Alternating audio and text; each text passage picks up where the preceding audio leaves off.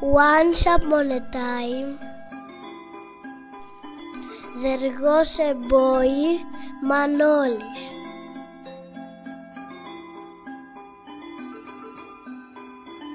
With a fine blue hat.